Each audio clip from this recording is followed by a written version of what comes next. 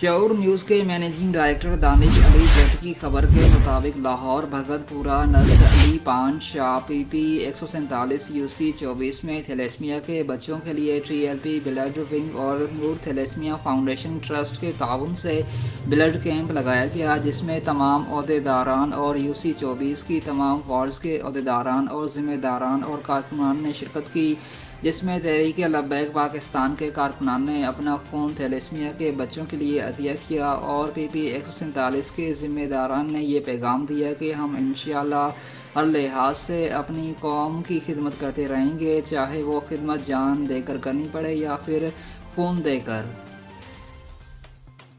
तहरीक पाकिस्तान की से यहाँ पे और कैंसर के बच्चों के यहाँ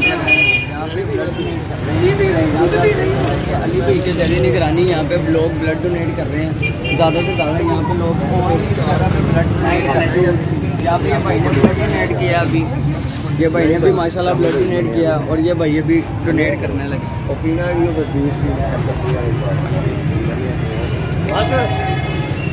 वीडियो तो वहाँ वीडियो